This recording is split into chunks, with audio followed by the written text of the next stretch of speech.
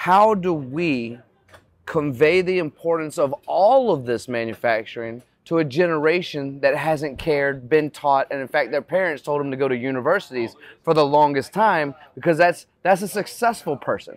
An unsuccessful person is just going to go to a trade school. That's your backup plan, whether you're going to be a welder or an electrician or a plumber. All the trades were the backup plan. How do we, as a community, as a manufacturing, engineering community, convey the message of how important it is that we make we're would you agree that we're coined an invisible industry?